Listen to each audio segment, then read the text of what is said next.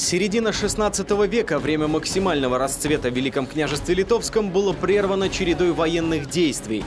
В это время разразилась Ливонская война, международный конфликт, к которому присоединилось и Великое княжество Литовское. Войны редко приносят процветание своим участникам. Так случилось и в тот раз. В начале декабря 1563 года Иван Грозный лично вместе с большим войском двинулся от Можайска к Полоцку. 60 тысяч воинов и более 200 орудий составляли московское войско. Современники свидетельствовали, что стоял такой пушечный гром, что казалось, будто небо и вся земля обрушились на город. Залпы были настолько сильны, что некоторые ядра перелетали крепостную стену с одной стороны и били изнутри в противоположную.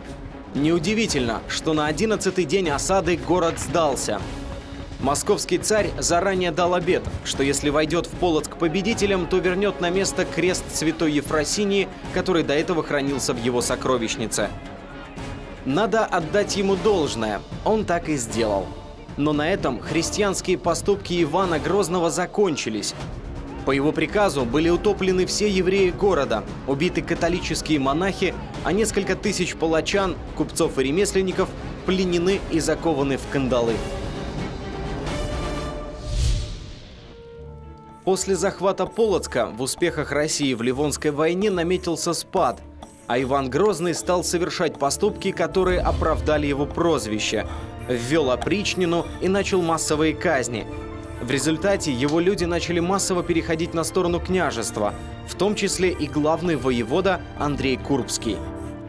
Падение Полоцка стало точкой, определившей судьбу белорусской культуры и языка на века вперед – Жители Великого княжества Литовского для того, чтобы получить поддержку в войне, были вынуждены заключить союз, то есть унию с польским королевством.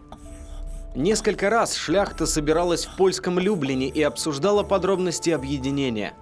С самого начала было ясно, что этот договор не может быть справедливым, ведь поляки не желали уступать, а представители Великого княжества Литовского не могли долго спорить в условиях войны им пришлось соглашаться на крайне невыгодные условия. В результате 1 июля 1568 года была заключена Люблинская уния. Две страны теперь объединились в одну, и это новое государственное образование назвали просто «Республика обоих народов». В переводе с латинского «res publica» означает «общее дело». Поляки произносили это слово как «жечь посполита», в таком виде название страны и закрепилось. После заключения унии поляки, наконец, оказали нашим предкам военную помощь. 30-летняя Ливонская война закончится с нулевыми результатами. Все государства-участницы, сильно потрепанные, останутся в своих прежних границах. Все захваченные города, в том числе и Полоцк, один за другим будут освобождены. Однако эта военная поддержка обошлась нашим землякам слишком дорого – очень скоро поляки, пользуясь политическими и экономическими механизмами, начали притеснять своих союзников. Законы Польши и Великого княжества Литовского стали сближаться, и потому крестьяне попали в кабальную зависимость от землевладельцев и начали, по сути, превращаться в рабов. Со временем православие было объявлено вне закона.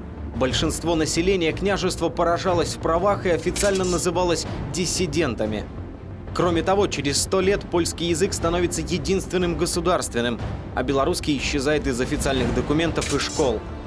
Неудивительно, что в ответ на такие притеснения на территориях Великого княжества Литовского одно за другим будут вспыхивать кровопролитные восстания. Несправедливые соглашения, положенные в основу государства, не пошли ему на пользу.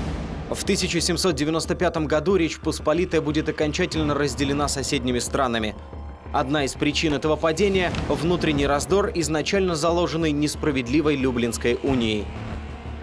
За 250 лет существования объединенного государства белорусская знать сильно ополячится. Религия, язык и культура Беларуси сохранятся преимущественно среди простонародья, в деревнях и поселках.